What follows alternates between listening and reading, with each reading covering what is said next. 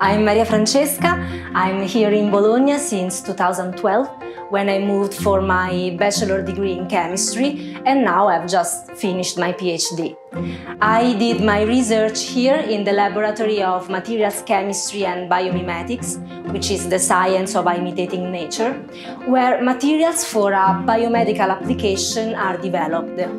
We try to prepare materials that are able not only to mimic the chemical composition of the tissue or the organ that they must regenerate, but also their properties, so they are best integrated into the body, and this is a real challenge. In the laboratory, I prepare different types of material that then are subjected to a fully characterization in order to understand if their properties are adequate for the desired application. During the preparation, we uh, use only green procedures involving aqueous solvents, room temperature, and materials deriving from sustainable sources.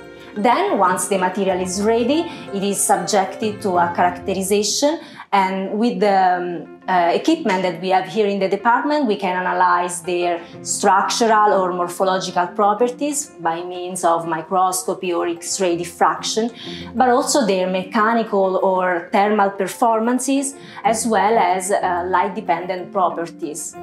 Since my materials are intended to come into contact with the body, often they are also subjected to biological tests, for example, cellular tests or antifungal tests, thanks to collaboration with other departments of the university and institution here in Bologna.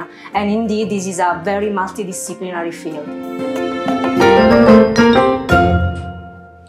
A material to be used in the biomedical sector needs to have advanced properties and meet specific requirements in order to ensure adequate performances.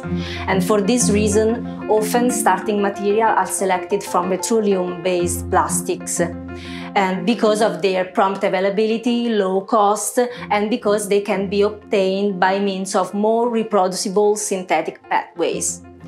However, even natural materials, if carefully selected, can guarantee good performances. And indeed, during my PhD, I used only materials derived from sustainable sources, such as the waste from the food industry or the livestock. For example, I used chitosan, which can be derived from the shell of shrimps or crabs, but also keratin that can be extracted, for example, from wool, feather, horns that would be otherwise incinerated. And for this reason, we try to encourage the use of natural materials even in advanced application, following the principles of green chemistry. I believe that among the 17 Sustainable Development Goals, my project fits into the 12th, which is related to sustainable consumption and production pattern. Indeed, there, during the recent decades, the technological advances and the um, globalization have led to an increase in the wellness of life and in living standards, but also in the depletion of the raw materials and the energy sources, as well of an increasing level of uh, uh, pollution.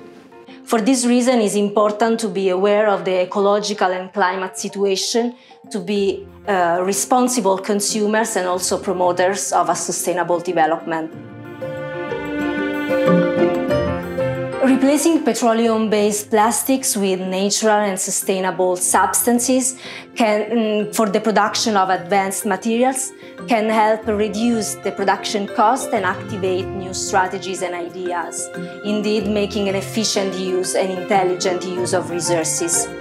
In addition, the procedures that we use are uh, green and easily scalable to an industrial level. Some formulation that I obtained during my PhD were indeed patented by my research group that now is looking for industrial partners to collaborate.